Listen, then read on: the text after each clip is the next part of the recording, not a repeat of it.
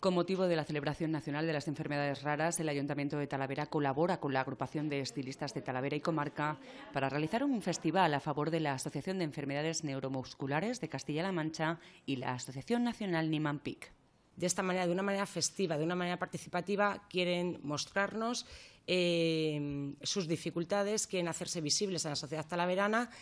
y el ayuntamiento desde el primer momento apostó por este proyecto, puso a su disposición todo, el equipo material y humano de, que, disponíamos eh, y van a hacer este festival el día 30 a partir de las 12 de la mañana, la entrada a 5 euros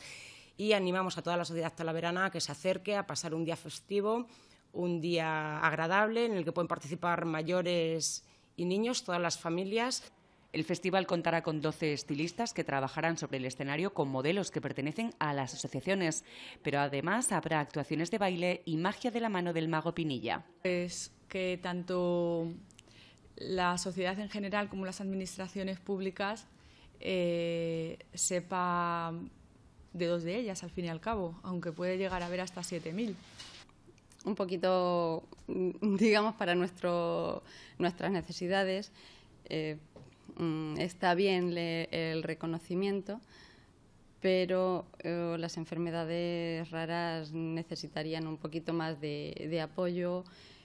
y no depender tanto de actos benéficos y, cosas de este tipo y el trabajo de las asociaciones para poder desarrollar la investigación y atender a los afectados.